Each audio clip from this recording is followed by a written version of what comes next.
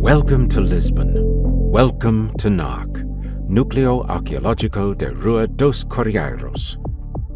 The museum offers an archaeological journey back into Lisbon's past, 2,500 years of history.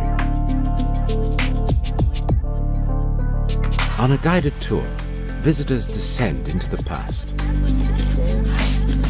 They experience an archaeological site beneath the city. Abridged routing enables access to the dig.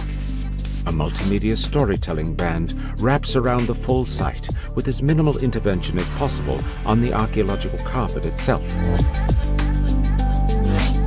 This band is fully controlled by a customized device that the guides carry throughout the tour, allowing them to activate immersive video, audio, and graphic content that facilitates the storytelling and transports the visitors on a journey through the Iberian Punic, Roman, Visigoth, Islamic, medieval, and Pombal eras.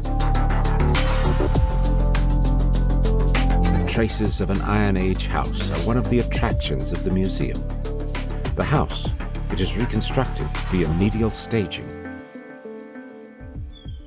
interacting with the media device, single objects, groups, and architectural remains are explained. The light show is equally interactive, revealing and concealing artifacts and remains on demand. Following the guided tour and the narrative journey that the visitors are transported on.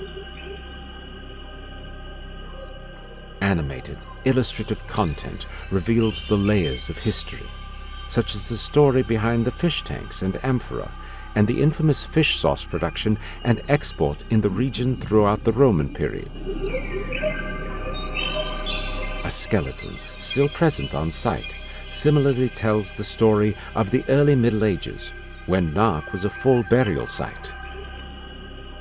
The glowing blue and white filigree lines contrast with the warm colors in the archaeology adding character to the space and contributing to the clarity in interpretation. The dig transforms into a staged setting. An earthquake in 1755 destroyed the city. It got rebuilt with forward-looking, pioneering Pombaline structures and animated axonometric reconstruction of the house displays the ingenuity behind this technology developed by the Marquis de Pombal that continues to characterize the cityscape even today. Join us on this journey to an exceptional space where the notion of time vanishes, bringing past and present together in a carpet of interconnected stories and traces of a city that has never ceased to live.